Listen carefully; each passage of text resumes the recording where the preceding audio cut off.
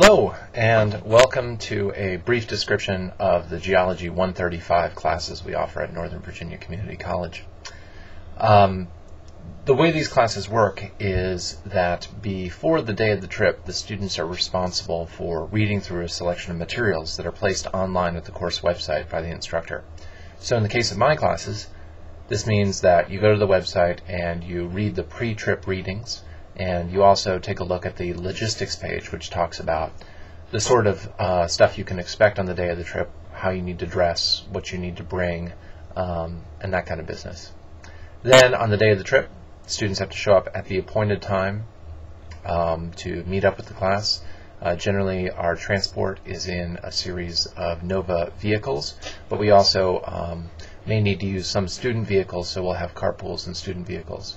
In general, the number of vehicles needs to be kept to an absolute minimum, and the reason for that is that many of the areas where we go on these geology field trips have very limited parking, and um, sometimes, you know, for instance, on uh, my Massanutten trip, if there's more than two vehicles, there are certain stops that we just can't go to.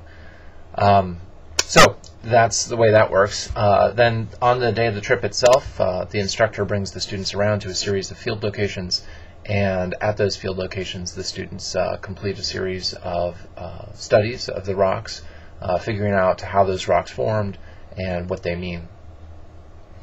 Later, um, after the field trip itself is over, in the ensuing two weeks, the students are responsible for synthesizing the information that they learned on the field trip. So this includes observations of rock types and rock structures, and then also geological interpretations of those rock types and rock structures.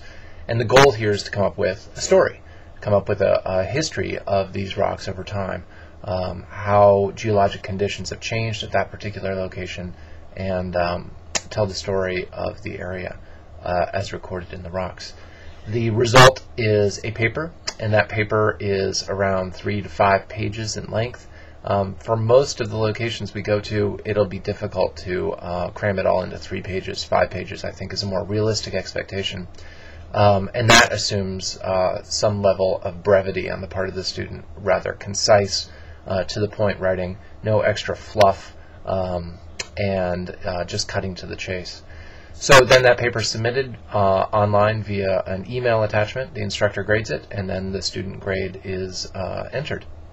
So if you have any questions about how these classes run, I encourage you to contact the instructor. What I've just described applies to my classes, Callan Bentley, and you can contact me at cbentley at nvcc.edu or give me a call in my office at 703 323 3276.